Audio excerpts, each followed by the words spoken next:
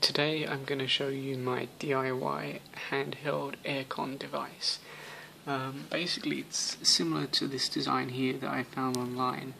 These sell on eBay for about mm, 8 to 10 pounds. Um, if you've ever stood in front of a fan after you've had a shower then you know you know how cold it can feel.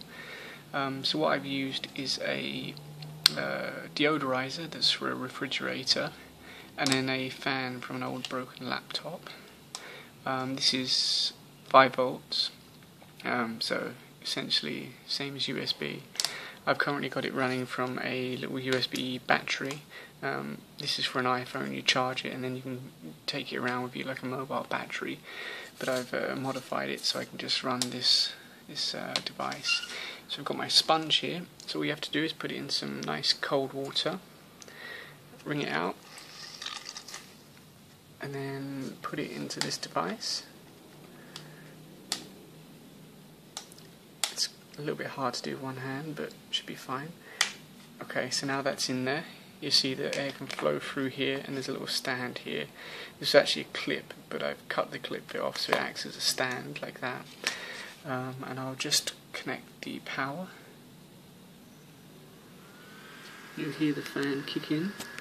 So what it's doing is it's drawing hot air through here and then it's going through the wet cold pad and the, the air is coming out of this vent here from the fan and you can feel immediately that it's much cooler than the, the room air.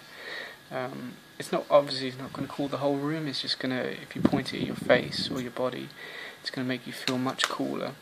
Um, I don't know how long the sponge will last. Uh, it's just a regular sponge for washing your car with, so you might also want to check if any of them have chemicals in or anything dangerous like that.